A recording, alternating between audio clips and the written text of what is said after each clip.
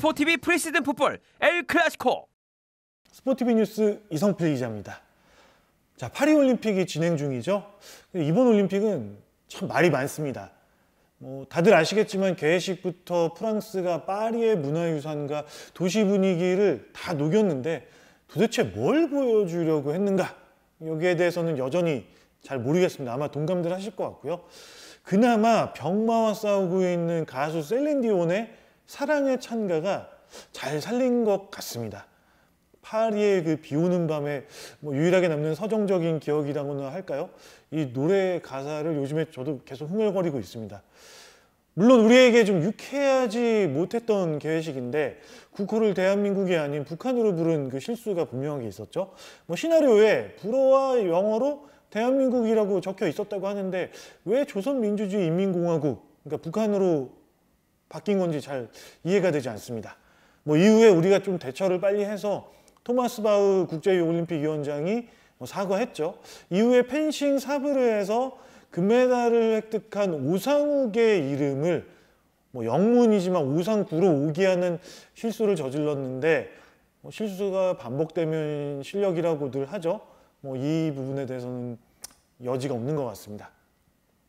또 국가 선수단 입장일 때 할 때 그 방글라데시를 정말 작은 배에 태워서 비판받았는데 좀 국력에 상관없이 동등한 대우를 해야 되는 거 아니냐 뭐 이런 지적과 마주했는데 저 역시도 이 부분은 좀 의아했습니다.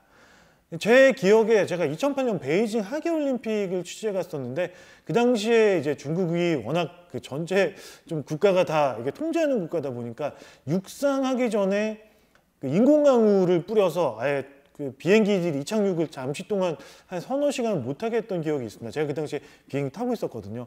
뭐 그랬는데 그런 거 상관없이 되게 매끄럽게 치러졌던 것 같고 뭐 작은 대회지만 그 이후에 뭐 런던 올림픽도 되게 깔끔했는데 이 다들 요즘 런던 올림픽 이야기를 많이 하더라고요. 어쨌든 대회 시작 후에도 실수가 이어지고 있습니다. 우리 금메달 땄던 양궁 남자 단체전 시상식에서는 은메달을 딴 프랑스의 국기가 동메달을 딴 튀르키예보다 더 낮게 개양됐습니다. 상당히 좀 의아한 장면이었죠. 그리고 여자 평영 100m 예선 4조 경기에서는 아르헨티나의 마카레나 세바요스가 입장하는데 청강판에 중국의 오성홍기가 나왔습니다. 세바요스의 표정이 굳어지지 않는 것이 이상한 일이겠죠. 뭐 중, 그 당시 경기를 중계했던 아르헨티나 중계진도 좀 많이 당황했고요. 또 남자 농구 남수단과 푸에르토리코전에서는 남수단의 국가가 또 잘못 연주됐는데 관중석에서 야유 나왔고 한 3분 정도 지나서 제대로 국가가 연주됐습니다. 아 그리고 이 프랑스 조직의 최대 고민 아마 센강일 겁니다.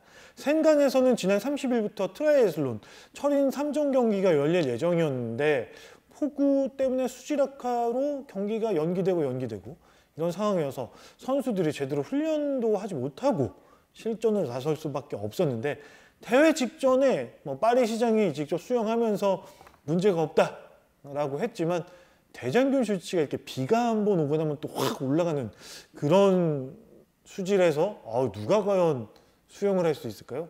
뭐 참 상당히 안타깝습니다.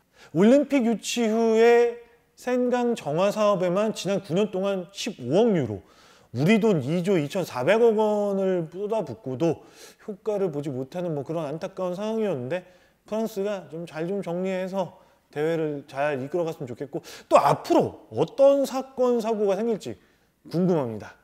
그 이후에 또 사건이 나오면 또 같이 공유하는 시간 갖겠습니다. 이상 스포티비 뉴스 이성필이었습니다.